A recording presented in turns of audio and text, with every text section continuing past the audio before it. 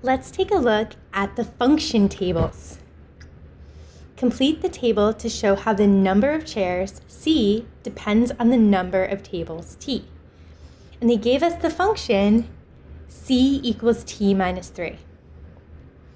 Okay, well when you have input and output for a function, if I have C is equal to T minus 3, the input would be this number because we're going to put that number in. We have to subtract 3 from it. And then we get the output, which means the answer, which would be C.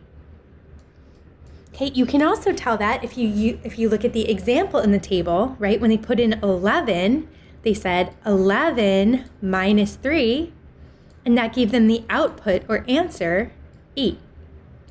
So what we want to do is follow that pattern to figure out the other numbers in our table. Okay, well, if we put in 7, that means we're putting 7 in place of t.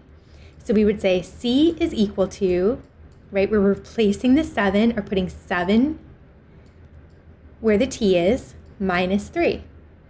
Okay, well, 7 minus 3 gives us 4, so c, or our output, would have to be 4. Okay, and then we want to do the same thing for the other two missing numbers. Well, what about when we put in 8?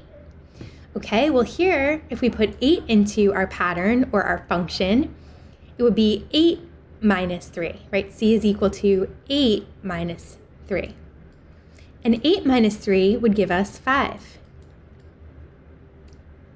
So we're going to fill in our 5. And then we have one more problem to do, this one would be C is equal to 9 minus 3, right? Putting 9 where the T is for our input. Well, 9 minus 3 is 6. So notice when they say input and output, input is the number you're putting into the, the equation, and output is the answer that you get.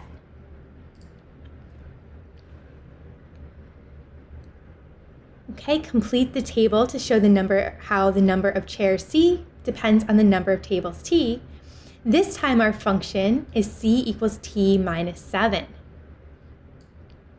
Okay, so just like before, we know the output is the answer we get, so C has to be our output because it's our answer when we subtract 7 from T.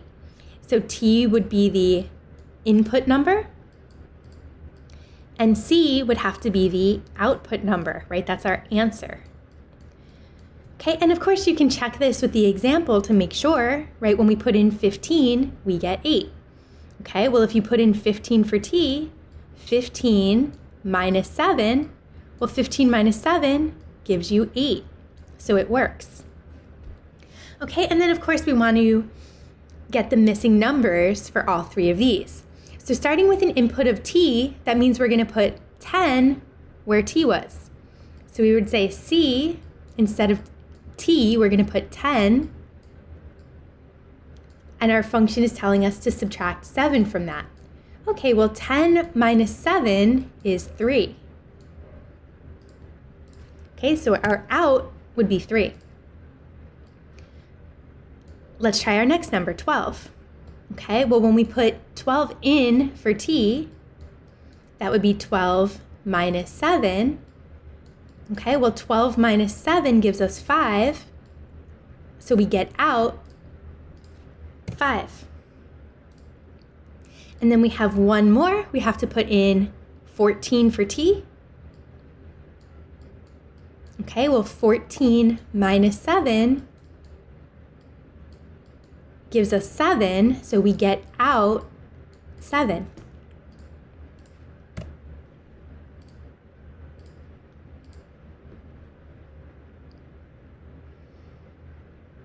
Okay, this time they're giving us the function c equals t plus 4. Okay, and if you look at this, remember in is the number that you're putting into the function, and out is always the answer you get. So out has to be our C since that's the answer or the number by itself. And in would have to be T since we're going to plug in numbers for T. And of course, you can always use your example to check this, right? If I put in 5 for t, that would be 5 plus 4, and that gives me an answer of 9, meaning I get out 9 for c. And you can see that fits with the pattern the way that we set it up. And then I want to do the same thing and follow that pattern for the next three numbers in my table. So the first one is telling me to put 7 in for t. Okay, so instead of t plus 4, I'm going to say 7 plus 4. Okay, well 7 plus 4 gives me 11, or another way to say that, I get out 11 for c.